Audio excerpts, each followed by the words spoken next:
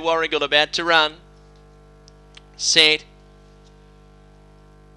And away, Nicky Neo bounced well, straight to second behind Short Mac, who's going to lead the fave initially, railing up to third, Dinah Nancy. They're being followed by Newsprint over Pinciardi on the improve. About two lengths away, Mercy Percy, Ballistic Gem, and Crackerjack Man last at the home bend. Dinah Nancy got through, grabs Short Mac, who comes again. Now Nicky Neo going between them, ducks back to the rail. The leader, Dinah Nancy, grabbed by Nicky Neo, and Nicky Neo got there. Favourite one at a length and a quarter, Short Mac. Dinah Nancy peaked on the run ahead away third, and they were clear from Pinciardi, Mercy Percy, Crackerjack Man, then Ballistic Gem, and last in Newsprint 2619 for Nicky Neo.